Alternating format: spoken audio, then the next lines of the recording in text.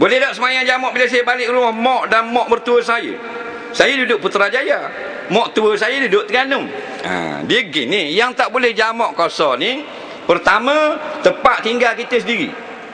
Dan rumah mak kita, bukan kita tinggal di Nung. Kita tinggal Putrajaya. Kita tak duduk di Nung. Kita ziarah saja.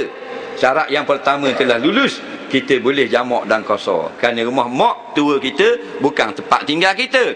Yang kedua kita tinggal di sana kita nama musafir atau mukim nama musafir boleh jamak kosor lagu mana? Kita balik rumah tok tua kita di Terengganu kita nak duduk tiga hari atau kurang daripadanya. Maka musafir yang singgah pada satu negeri tiga hari dan kurang maka dinamakan musafir yang singgah. Ada lagi nama musafir boleh jamak dan kosor maka nama kalau kita nak duduk 4 hari dan ke atas maka kita bernama pemukin. Kerana makna mungkin orang yang tinggal pada satu negeri atau bandar 4 hari dan ke atas.